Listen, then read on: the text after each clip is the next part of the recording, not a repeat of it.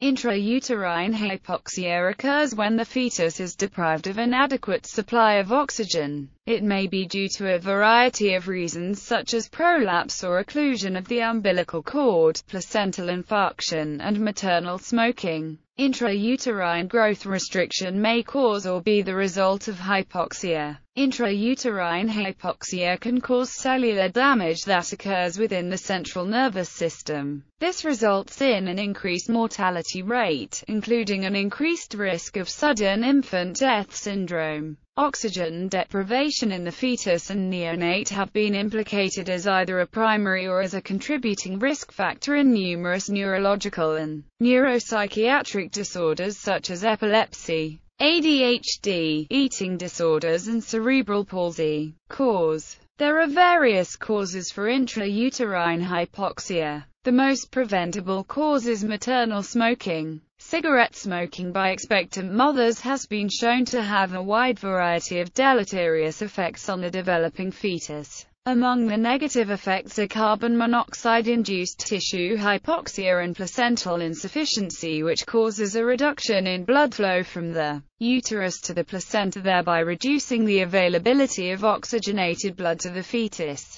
Placental insufficiency as a result of smoking has been shown to have a causal effect in the development of preeclampsia, while some previous studies have suggested that carbon monoxide from cigarette smoke may have a protective effect against preeclampsia. A recent study conducted by the Genetics of Preeclampsia Consortium in the United Kingdom found that smokers were five times more likely to develop preeclampsia. Nicotine alone has been shown to be a teratogen which affects the autonomic nervous system, leading to increased susceptibility to hypoxia-induced brain damage. Maternal anemia in which smoking has also been implicated is another factor associated with IH. Bar. Smoking by expectant mothers causes a decrease in maternal nucleated red blood cells thereby reducing the amount of red blood cells available for oxygen transport.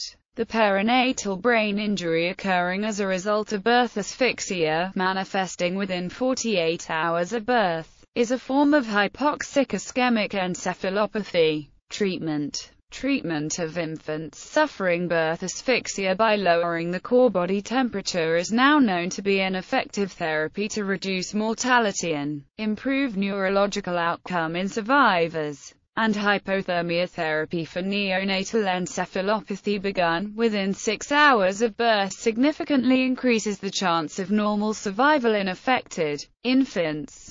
There has long been a debate over whether newborn infants with birth asphyxia should be resuscitated with 100% oxygen or normal air. It has been demonstrated that high concentrations of oxygen lead to generation of oxygen-free radicals, which have a role in reperfusion injury after asphyxia. Research by Ola Didrik Saugstad and others led to new international guidelines on newborn resuscitation in 2010, recommending the use of normal air instead of 100% oxygen. Epidemiology in the United States, intrauterine hypoxia and birth asphyxia were listed together as the 10th leading cause of neonatal death. Financial costs IH bar is also a causative factor in cardiac and circulatory birth defects the sixth most expensive condition, as well as premature birth and low birth weight the second most expensive and it is one of the contributing factors to infant respiratory distress syndrome also known as hyaline membrane disease